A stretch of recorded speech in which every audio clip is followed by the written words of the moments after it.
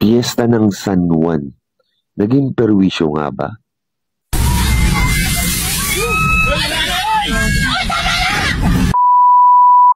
Mga kachika, welcome back to my channel. Pag-uusapan na naman natin ng trending at viral dito sa social media na sobrang init. Ang opinion ko lang dito, guys, mga kachika, is etong San Juan, guys, yan, ang daming talagang dadaan dyan. Kasi papunta yan sa mga business center. Uh, like San Juan, maraming business center dyan tapos dito sa Ortigas, maraming call center diyan, marami nag-o-office diyan. 'Di ba? Talagang uh, itong dadaanan talaga sila ng mga naghahanap buhay. At alam naman natin na hindi lahat alam ang piyesta. Hindi sila handa diyan. Kaya talagang marami talagang maabala at ito ay hindi na nakakatuwa. Guys, ito ay na naging perwisyo na itong 2024 uh, piyesta.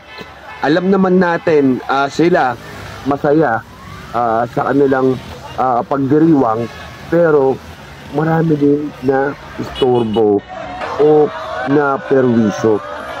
Sana naman itong itong piyesta na ng San Juan, magbigay sila ng lugar na sila-sila lang na pwede magbasaan. Sa mga gustong uh, makipiesta at makibasa uh, meron silang lugar kahit na yung mga field mas maganda kung gawin to sa field di ba?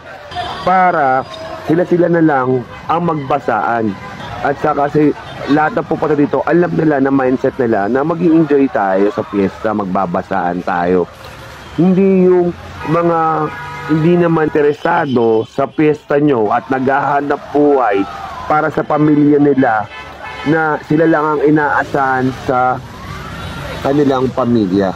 Dahil kung hindi sila papasok ng trabaho, kung hindi sila maghahanap buhay, wala silang ipapakain sa pamilya nila at mababawasan sila ng sahod. Ito, basahin natin yung isang naapektuhan. Ito na nakita ko lang sa post, no? Ito nga yung naperwisyo uh, dito, nag-post Nasira ang laptop at cellphone ko dahil sa mga squatter ng San Juan na pinagtripan yung jeep na sinasakyan ko at maraming taong pinigilan nila yung jeep namin. Gusto na silang banggain ng driver pero binuhusan nila bigla isang tabong tubig sa mukha yung driver. Buting na hindi niya na na apakan yung pedal dahil baka may mas malaking aksidente pang nangyari. Yung mga student na kasabay ko, walang nagawa kundi umiyak na lang. Yung mga documents na hawak nila ay basang-basa. Magpapasa sana sila na requirements for university pero yung school card, good moral diploma at birth certificate nila ay nabasa. Yung batang katabi ko, uh, yung batang katabi ko muntikan uh, parang malunod dahil walang tigil yung pambabasa na dinawa ng mga tao sa paligid ng jeep namin. May isang malaking drum na bigla nilang binuhos sa bintana kung saan nakupo yung bata.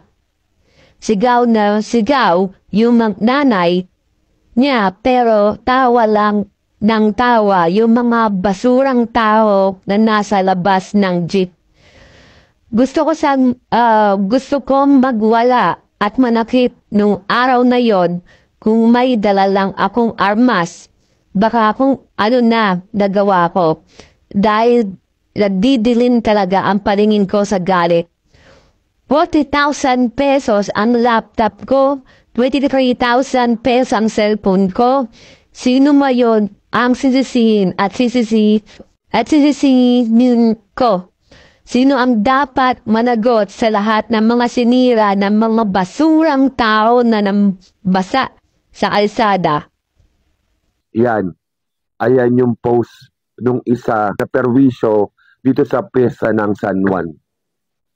Grabe, no? At eto pa, eto pa guys, ito pa, ito, gigil na gigil ako dito, guys. Tinawag nila na uh, binansagan nilang boy tila. Uh, panoorin nyo.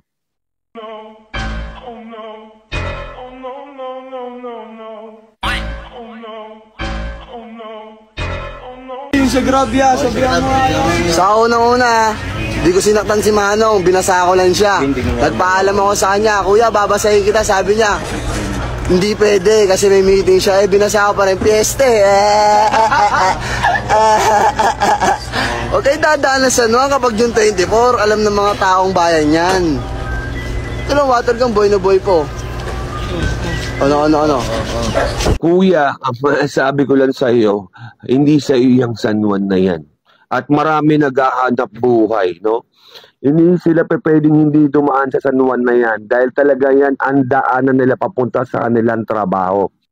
Hindi ikaw ang ah, magbibigay sa kanila ng pagkain, okay, pag nagugutom na sila. Hindi ikaw ang magbibigay ng tuition fee sa kanila pagka hindi sila makapag-aral. At maraming dahilan na hindi ikaw, lalo-lalo na ang may-ari ng San Juan. Kaya talagang pwede silang dumaan dyan sa San Juan na yan. Dapat na lang, alam naman natin, ah, lahat, di lang piyesta ng San Juan. Okay? Lahat ng piyesta masaya. Pero, bigyan naman natin ng lugar yung kasiyahan. Dahil hindi lahat Okay? Gustong sumali sa piyesta nyo. Hindi lahat gustong makapiesta. Yung iba, naka-mindset para magtrabaho para sa kanilang pamilya. Ah, ito yung mga taong, mga ganito yung mga salita ng mga taong tambay. Ito yung mga salita ng mga taong walang pangarap. Ito yung mga salita ng mga, ah, alam mo na, yung, yung wala siyang pakialam o wala siyang paki, pakiramdam sa mga taong napiperwisyo niya kung lahat ng mga tao ay ganito, ang pananaw sa buhay, naku, maghihirap ang Pilipinas. Akawawa naman yung mga pamilya ng mga tao na umaasa sa kanila. Di ba? Kayo guys, ano masasabi nyo dito? Ito ba'y masayang pesta sa San Juan 2024? O talagang nakaka-perwisyo na na dapat aksyonan?